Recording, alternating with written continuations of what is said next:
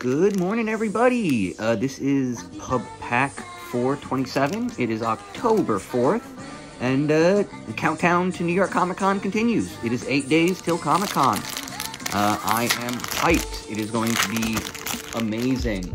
Uh, there is so much kind of up in the air, uh, so many unknowns uh, due to the writer's strike, and the idea is, it, it turns out we've solved it. Uh, so there we go. It's going to be absolutely insane. The idea is that, you know, this is the second biggest con in in the world, Comic Con in the world, and the idea is San Diego already happened and the strike was going on.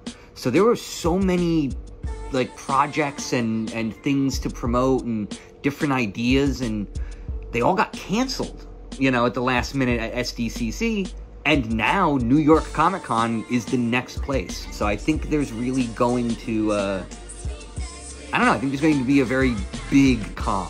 Because it really is like uh, the first one, you know, like the pandemic is over, the strike is over. It's the first one where there really is a return to normalcy and, and we can go back to cons the way they were. So I'm um, very much psyched uh, uh, eight more days. Boom. Let's do it. Okay. Lonesome Unicorn.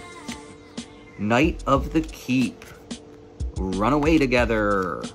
Bloodhaze Wolverine. Return to Nature. Crashing. Oh, I get it. It turned back to a pumpkin. It used to be a, a, a, a coach, you know, a, whatever, fine. Uh, Crashing Drawbridge. Searing Barrage forever young, like that song by those people. Uh, unexplained vision, giant's skewer, glass casket, steel claw lance, seer Elenora. Wait, hold on, I did that all wrong. Starting over.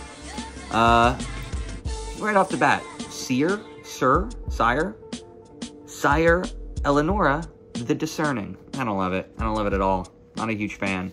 Then we've got a Knight token, a Mountain, and Witch's Vengeance. There we go. Two black, one colorless for a sorcery. Creatures of the creature type of your choice get minus three, minus three until end of turn. Not terrible. Um, there's, there's, you know, it's definitely been power creeped out of practicality, but I could see this being in a, in a you know, commander deck, I guess, right? That's what you say. You say, ah, put it in commander when it's not a good card. A good night.